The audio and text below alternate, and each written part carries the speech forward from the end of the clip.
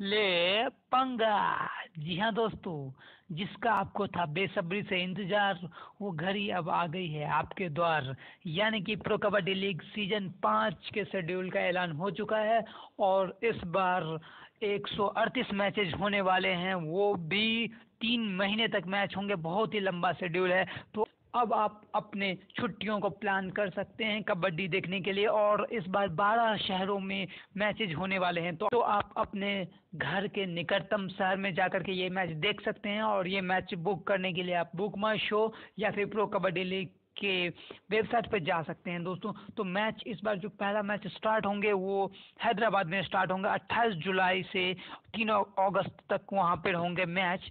उसके बाद IT engineers के पास, यानी कि बेंगलुरु में मैच चले जाएँगे 4 अगस्त से 10 अगस्त तक। उसके बाद केम छो केम छो यानी कि गुजरात के अहमदाबाद में मैच होंगे 11 अगस्त से 17 अगस्त तक।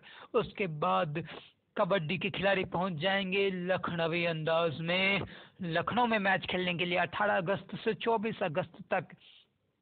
उसके बाद मुंबई है मेरी जान में मैच होंगे 25 अगस्त से 31 अगस्त तक। उसके बाद बाबू मोसाई, यानी कि केमो नाचो, भालो। कोलकाता में मैच होंगे एक सितंबर से सात सितंबर तक।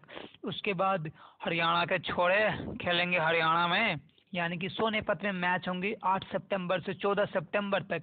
उसके बाद भैया मैच तो है ना, अपना बिहार के बगल में जो रांची है, वहाँ पर होगा धोनी भैया के घर में, पंद्रह सितंबर से इक्कीस सितंबर तक। उसके बाद मैच दिल वालों की दिल्ली में होने वाले हैं, वो भी बाईस सितंबर से अट्ठाईस सितंबर तक। उसके बाद दिल्ली से चेन्नई एक्सप्रेस पकड़ के चेन्नई में मैच स्टार्ट हो जाएँगे उनतीस सितंबर से पाँच अक्टूबर तक।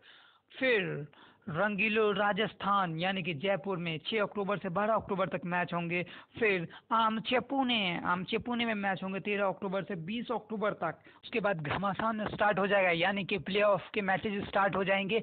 22 और 23 अक्टूबर को मुंबई में होंगे qualifier one two three and eliminator one उसके बाद फिर प्ले के बाकी मैच चेन्नई में होंगे, यानी कि एलिमिनेटर टू छब्बीस अक्टूबर को हो गए चेन्नई में और उसके बाद जिसका सभी को है इंतज़ार, यानी कि प्रो कबड्डी लीग के सीज़न पाँच के चैंपियन का फैसला होगा।